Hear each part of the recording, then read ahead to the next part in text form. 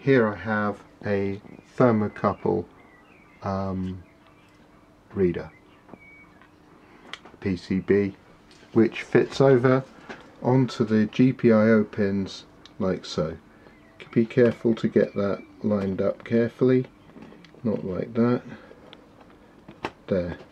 That is now lined up correctly and we're ready to attach a thermocouple.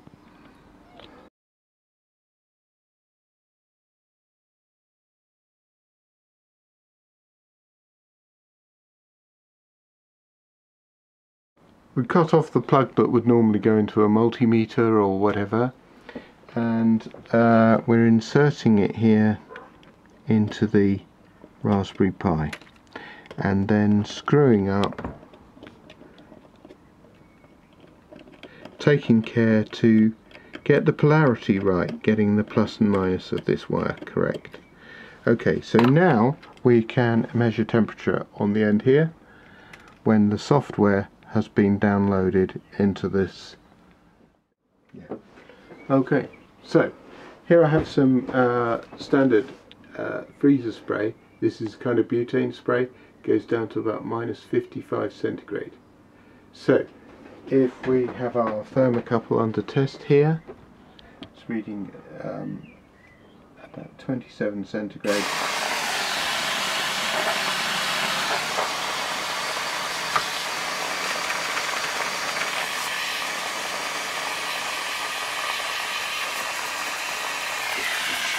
There we go. So it's quite a warm day, so it's, it's uh, heating up quite quickly. But there, that demonstrates the uh, TH7 is able to read negative temperatures down to absolute zero in theory.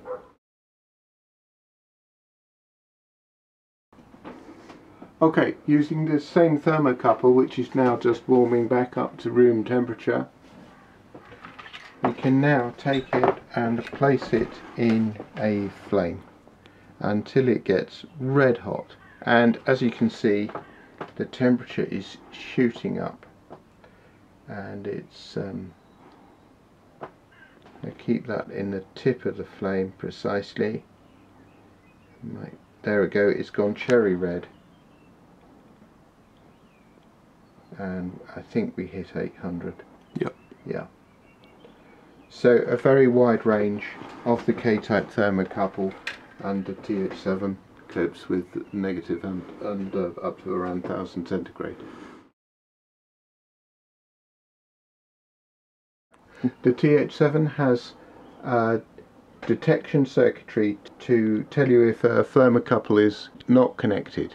So if the thermocouple became cut or um, a thermocouple broke open here and went open circuit you would see this because this circuit board detects if there's nothing connected and gives you an error signal on the channel so um, some thermocouple readers will simply give you the temperature of the PCB back if the thermocouple goes open but not this one.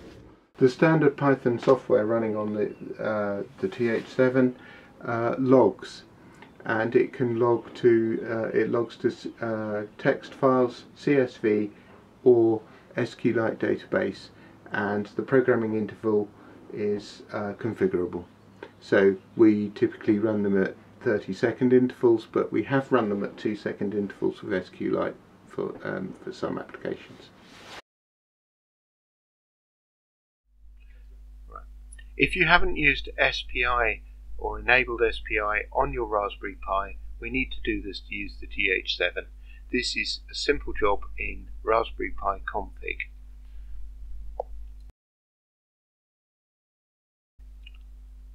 Ensure that the username that you're using is in the SPI Unix group.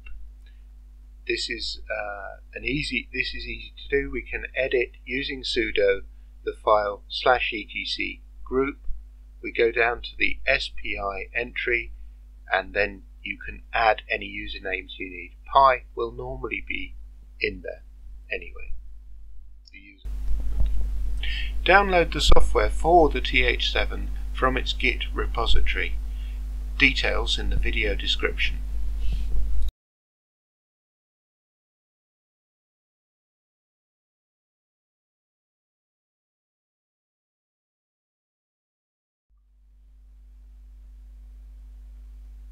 There are three working code examples. SSH terminal th7.py it's a general purpose info screen, 7 channels, the PCB temperature and the voltage supply coming from the USB. The next one is th7logger.py. This is designed to log with the SQLite 3 database.